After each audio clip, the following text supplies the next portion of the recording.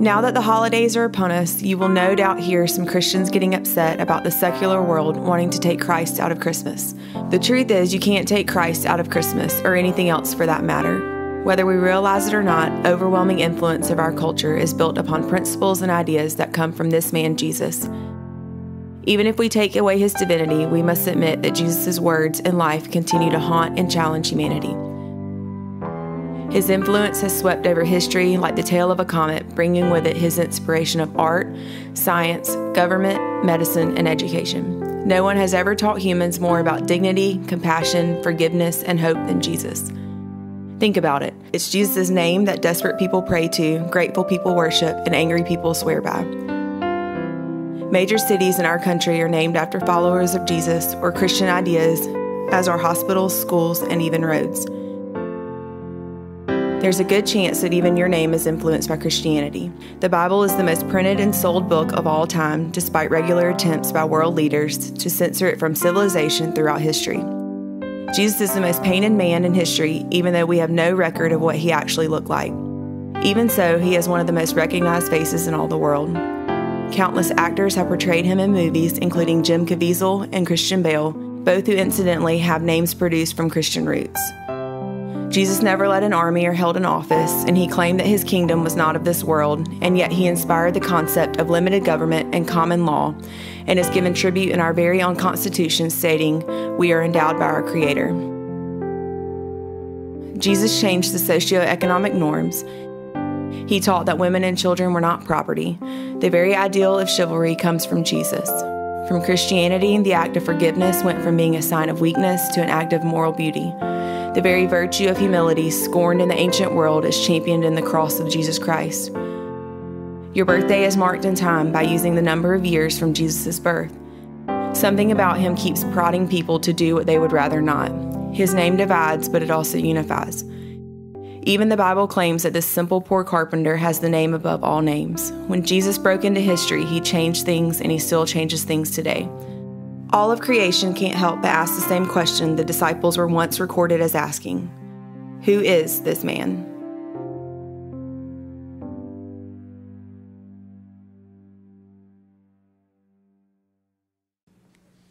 Morning, Fort Church. How are you? Good. I hope you had a good Thanksgiving. Mine was awesome. We moved house this week, and so I got my family here finally with me, and uh, we're going to be under the same roof. Yeah, I'm excited about that. Yeah.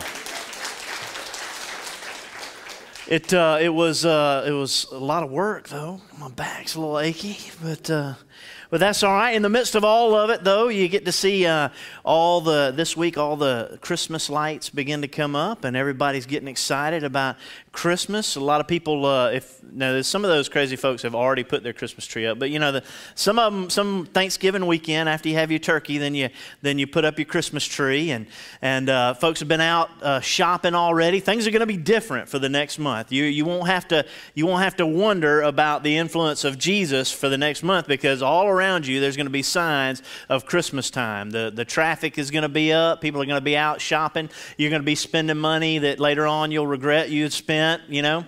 Um, some people will even do things so crazy. They'll, they'll go out in, in, the middle of the night in matching monogram shirts to go Black Friday shopping. Uh, that, that wild, all right, because, uh, because of Christmas. They're excited about Christmas. And we know that the, the reason for the season is Jesus, right? So, so we know that. Um, and and doesn't matter what, doesn't matter how much uh, people put the emphasis on other things, on trees and presents and lights. We know it's all about Jesus. You can't get away from the influence of Jesus. And, and even if, even if you took all of that away, even if you took away the trees and the presents and the lights and the ornaments and all the food, if you took all that away, the influence of Jesus would still be incredibly strong in the world, just like we saw in the video there. Jesus' impact on the world is, uh, is incredible. It's pervasive. It's everywhere you go, it's everywhere you turn. And, uh, and the institutions that we saw uh, that have been created because of the ideals of Jesus, because of the things Jesus taught, because of the things Jesus stood for, are all around us. And although we may want to say the world is just is just going to hell. It's, it's going the wrong way. Um, the influence of jesus still cannot be denied. It doesn't matter what your political leanings or views are or what you think about kids these days. It doesn't matter. The influence of jesus is still pervasive in the world. You cannot get around the influence of jesus. Why is that? Why is that? That is because a little over 2000 years ago something really happened a historical event took place. God came from heaven and took on human flesh, and he was born in a manger, in a, in a, in a barn in a city called Bethlehem. God left heaven, and he was born as a little baby. It's a real historical event. It's not, it's not a story, it's not, it's not a myth, it's not a philosophy. Something really happened. Something really happened. God came from heaven and became human flesh. Now, that's a big deal, all right? That's a big deal. I want you to imagine now uh, imagine heaven, the things that you've heard good about it. Now, maybe you just got now, right now, you're just picturing clouds and harps and all that. But listen, in the Bible, talks about heaven as uh, a city. It talks about it as real stuff. All right, it's going to be good. It's it, as good as you can imagine it. It's going to be better. The good parts of this life, without all the the the anger and out all the jealousies and that. You know, just imagine without the bad parts, but all the good, and that's heaven, right? And so he leaves heaven and he comes and he's born in this very humble circumstance. Now, I imagine if I asked this room, would you like to go back and redo part of your life? Most of you would say, oh, yeah, I'll take that, right? Now, would you take it if you had to come back as a newborn? Now, listen, imagine that. Now, you come back completely helpless. Right? All right. You're, com- you are completely helpless. It's as humble a state as you can possibly be. You have no power. You, if you're going to get fed, it's because somebody's going to feed you. If you're going to move, it's because somebody's going to move you. If, if your head's not going to wobble around while they're moving you, they got to hold it up, right? If you're going to get changed, somebody's got to change you, all right? It is completely humble. It's not, listen, it's not just that he came and he was born in a barn and that there were donkeys and cows around. This is a, this is a, so helpless a state to be in. Now, this is, this is the God who spoke and created the universe. Um, the Bible says in, in Matthew that he came so that he could be with us. And uh, as the angels foretold the, the coming of Jesus, uh, spoke to Joseph and said, His name will be Emmanuel, which means God with us. He leaves heaven to come and to be with us. Really, be with us, face to face with us. He, uh, he, he gets down to our level. Um, you know, when you if, you, if you want kids to like you, right? If you want, want a kid to really like you, you don't stand over them, right? And that's intimidating for a child. You stand over them, looking over them, and, you know, kids see me coming, big old man, ooh, you know. But, but if you just get down, right, if you sit on the floor and you play the cars or the blocks or whatever, it's a whole different thing, right? Because you're down on their level. And God comes down to be with us, with us. Why does He do that? Why does He do that? Why does he come down as a real human being, not, not just a story, not just a myth? Some people, some people said that Jesus wasn't actually human, that he was sort of a, a ghostly spiritual figure that, you know, nobody ever touched him and his feet never actually touched the ground. No, no, no. He's fully human, the Bible says. Why? Why does he come a real person in a real time in history? The reason is because you and I have real problems. We've got real problems that needed a real solution. You and I have real problems. We've got, re- we've got real marriage problems.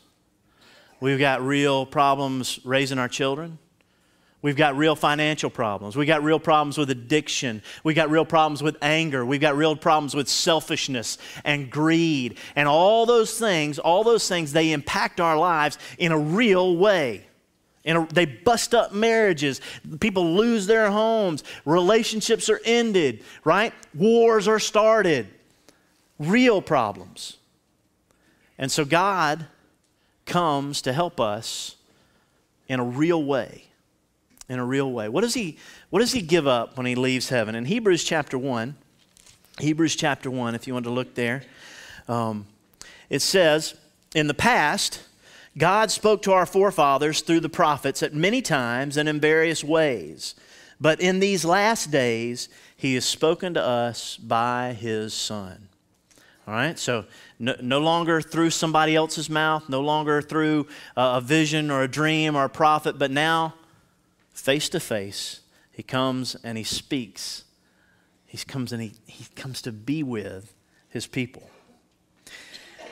He come and he's spoken to us by his son, now whom he appointed the heir of all things. This is what he leaves in heaven. This is who he is, all right, to come and be born in this humble circumstances.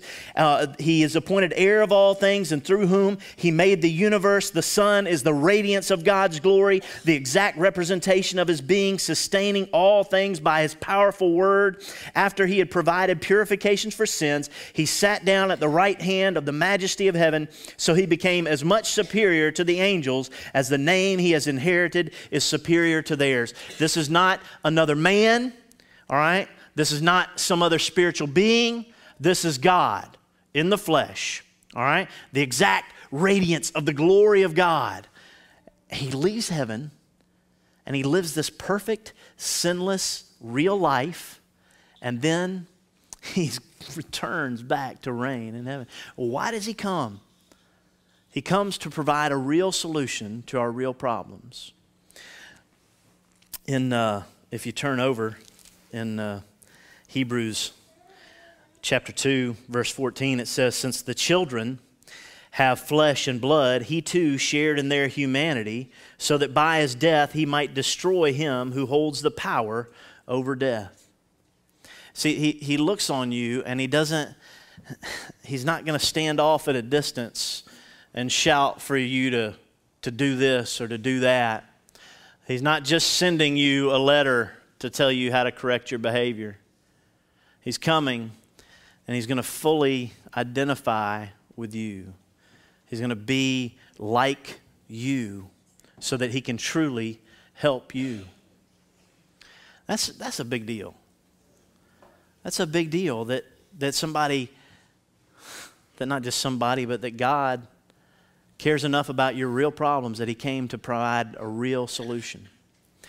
People give him all kinds of advice, you know, people will offer you help. Um, and sometimes you just wish that they'd keep it to themselves. You get a lot of bad advice in life, you know. Sometimes the worst thing that somebody could tell you is, uh, "Hey, just just follow your heart," right? That because you're thinking, "I'm I think my heart got me right here where I am in this bad spot." I'm, you know, just just trust yourself. I'm like, uh, that hadn't been working out, right?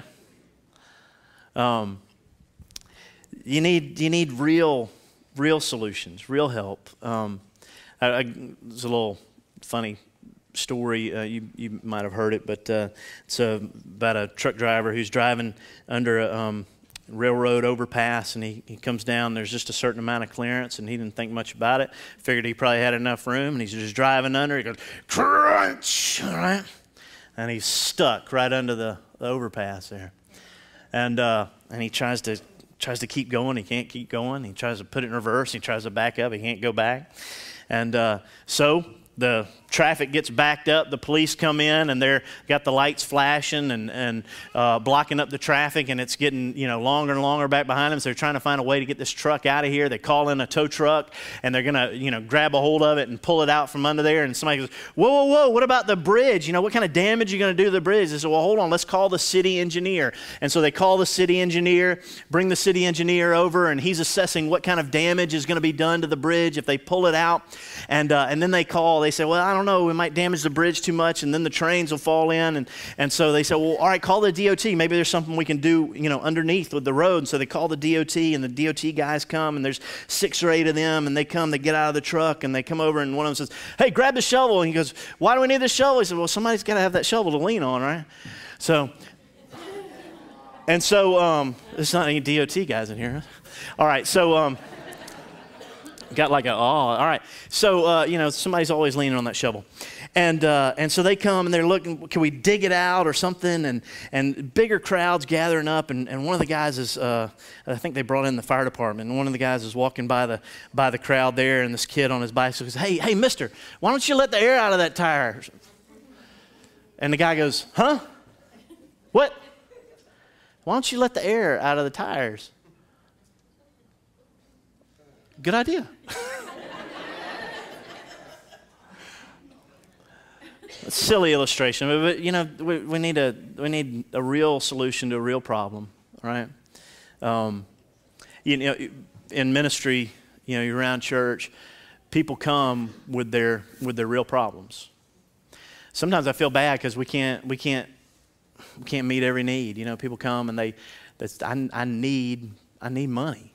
I need money for this this bill. I need money for this food. You know, and if you can't meet that need, you know, I feel feel genuinely bad. You know, you you you go, and and you say, I can't do this. I know it's your name, but I can't do that. I, and you say this. You go, I will I will pray for you, and I really will. I mean, I really will, and I, I believe there's power in prayer, and it's good. But for that person in that moment, what they need is money, right? And I feel bad. Now, for you and I, we have a problem that affects every part of our lives. The Bible calls the problem sin. We've talked about it in the past. And it's, it's that we have turned from God's way and we go our own way. And the effect of sin on our lives and on our families' lives and on the world is, is all over. We, we are not as we should be. Uh, you don't you don't have to search very far to to understand that. You just you look in the mirror and you think about the ways that you wish you wish that you were more loving. You wish that you were more kind. You wish that you were more sacrificial in, in your marriage uh, or with your kids, or um, you wish uh, you wish that your addictions didn't hold on to you. You wish you could power your way through them. You wish you were more patient. You know that there's a better way right? And you know that your sin, your struggle, your brokenness is hurting you and hurting the people around you. These are real issues, real brokenness. Jesus comes to provide a real solution to those things. He takes on flesh and blood ultimately so that he can give his life for your life. The things that are, that are hurting your real life, he comes and he's going to take all of that upon his shoulders, upon his real body.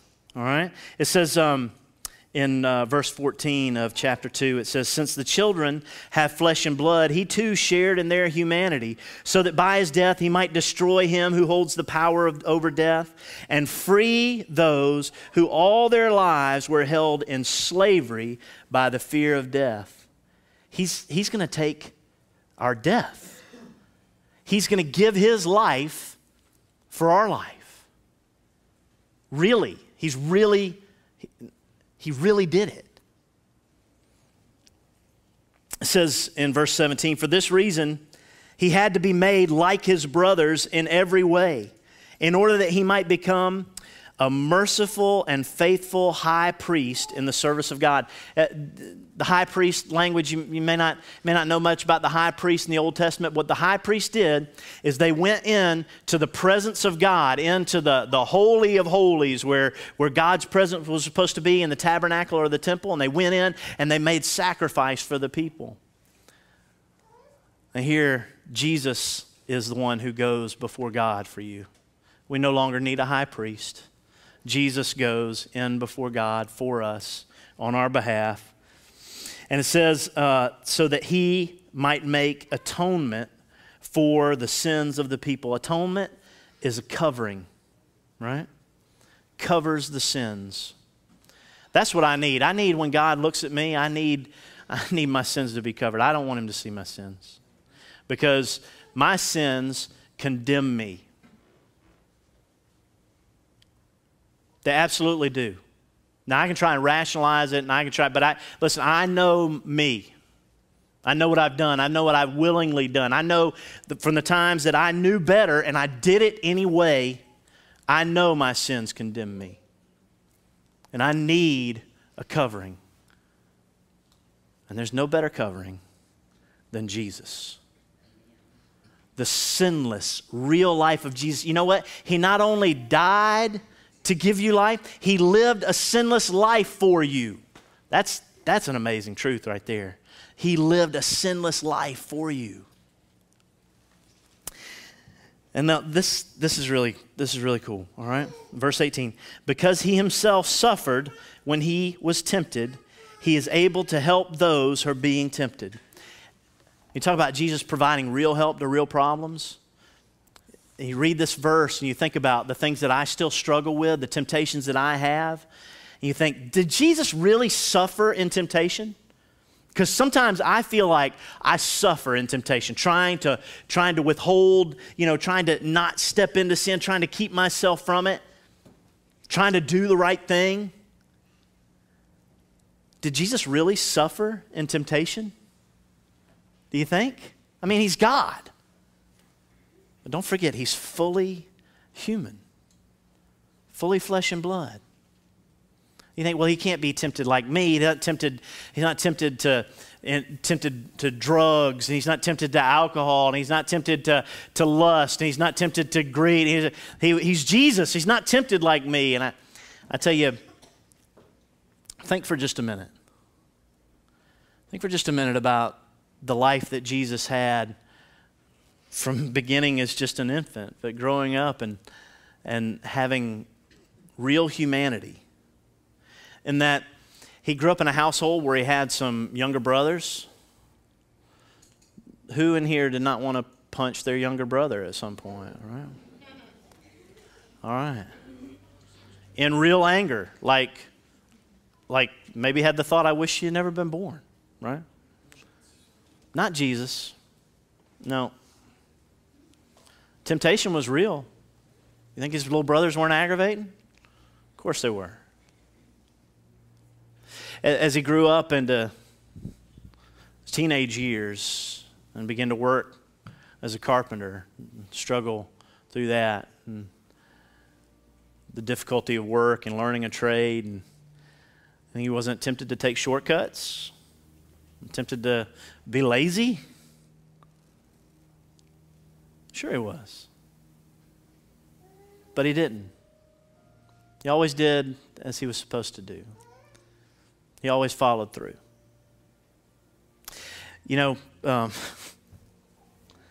when he entered into his public ministry, about the age of 30, he began to teach, and he began to teach in such a way that people were drawn to him. People, people, heard him speak, and they, wow, this guy has got authority. He's got power. There's something to him. And so people were drawn to him. He healed people, and so people wanted to come, and they wanted to be healed. They wanted to hear him. And so at times there were thousands of people gathered around to hear him. You think that doesn't? You think that doesn't tempt you to be prideful? You think there weren't people trying to trying to take advantage of Jesus to maybe use money to, to gain something from him? You think there weren't people who admired him and wanted to get close to him in inappropriate ways? Of course there were. But he never gave in. He held strong. Was not, apparently, not easy. He suffered in temptation. The, the purest picture of that is found in the Garden of Gethsemane. It's an olive garden, but it's the night when Jesus was arrested and he would be, go to the cross and be crucified. He had his disciples there with him at night in this, in this olive garden and uh, olive grove, and, and he's there and he, he kneels down and he begins to pray. He begins to pray and he prays for his disciples prays for his disciples there and he prays that God would protect them. And then he prays for you and I. Says, for those that would believe through his disciples. That's you and I. He prays for us at that time. And he's praying with this crazy intensity, really intense prayers. The Bible says that he's so intense in these prayers that actual blood comes from his pores. He sweats blood. As he begins to pray, Father, if there's any way that this cup, and what he's talking about in the Old Testament, it's this cup of God's wrath, that God's, God's wrath, God's, God's due anger towards sin. These, God, God can't stand sin. It's not like he's, he's just angry at you because you don't obey him. He can't stand that it destroys lives, that it hurts people, that, that and he can't stand it. And, and so Jesus says, God, if there's any way that you can take this, this cup from me, he says, but not, not my will, yours. What's he talking about? He's talking about what's going to come in the next day. The, the next day, this real man, this real flesh and blood man, is going to be beaten. He's going to be accused falsely. He's going to be nailed to a cross. And he's going to die. And all of that's bad. All of that is so bad. But this cup he's talking about is that all of our brokenness, all of our sin, all the hurt that has come uh, on you and all that, that you have that you've caused other people, all of it is going to be put on him on the cross in his physical body